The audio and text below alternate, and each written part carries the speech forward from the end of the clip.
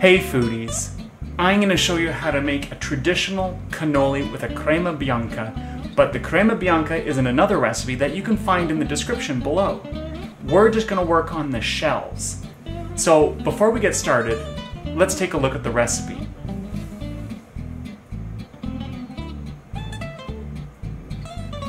So what we're using today is Frankie's all-purpose gluten-free flour, and we're going to start with putting our softened butter right into our bowl. And then I'm going to mix in the sugar and the egg. There we go.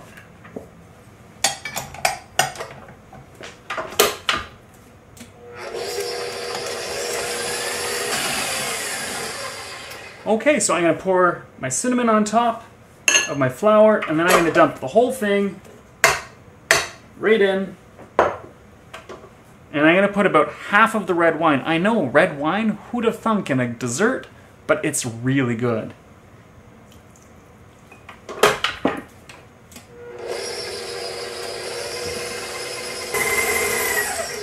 And it's almost there. You can see just the texture. It's almost going to hold beautifully. I'm going to put about half of this again and probably save the last swig for myself.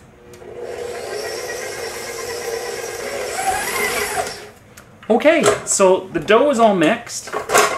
And I'm just to set that aside. And you can see, like, it, it, it looks a bit like a, a brownish, reddish kind of pastry. Now, if we were making traditional cannoli using a wheat-based flour, we would only be able to roll this out once because we'd be using semolina flour, and it would make the dough really, really tough.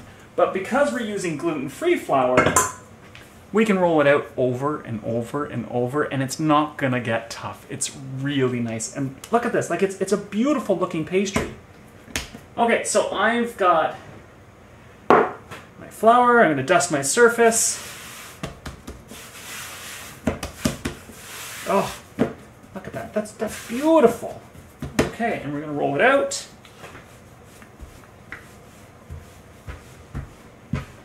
To thinner than a pie crust.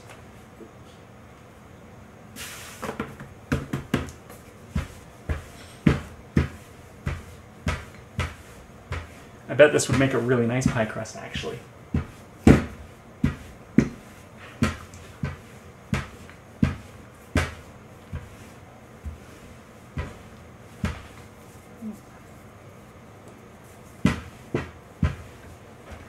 Okay. And then we take our cutter. I'm going to cut a few rounds.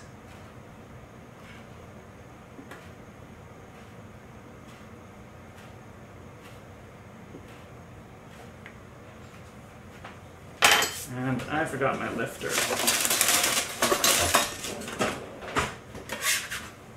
Okay. And you can see just nice and thin that you want. So we take our cannoli tube and our egg mixture, because I've beaten up a little bit of egg, and we're going to stretch it just a little bit more than it is. And I'm going to wet one side and really press it down. And then I'm going to drop this in the deep fryer. And while that one's cooking, I'm going to do another one.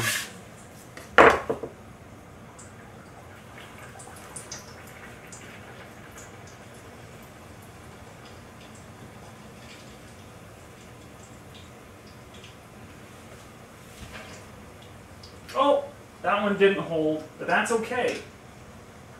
Some of them will and some of them won't. Just means we get to sample some more.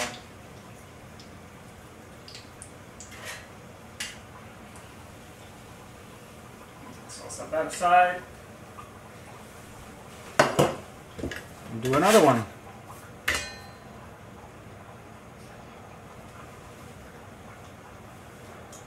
Now, if you don't have cannoli tubes, you can always use um, dowel, or I've seen an Italian grandmother use bamboo, and it was really, really neat. So you can tell when they're done, when they're nice and golden, you can see the color difference, and that tells you that they're done. You don't want to overcook them because then they'll burn. And you don't want them to be undercooked because they'll get really chewy. So I've just finished with the first rolling out of the cannoli. Now I'm going to do the second one. And you can see it's not getting tough. It's so nice. Look at these cannoli shells. They look amazing. And we're going to fill them up with some Paw crema bianca. So when you're filling your cannoli, you want to make sure that you're you're having them consumed before three hours is up. Otherwise, the, the shells themselves are going to go really soft. And you want that little bit of a crunch, the little cookie crunch. So I'm going to put a little bit in there and set that aside.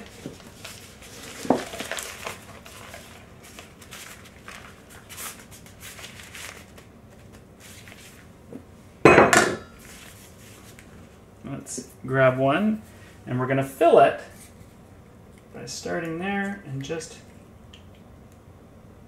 look at that. Doesn't that look beautiful? I'm going to do a couple of them.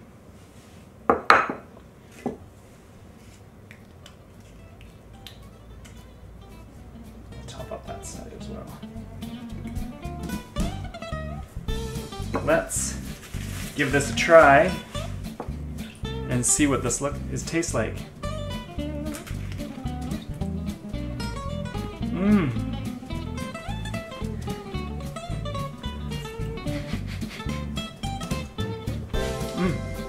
The little cookie crunch. It's so wonderful. I think you're gonna love making these cannoli. I look forward to reading uh, all about what you use for filling for your cannoli. Thanks for watching.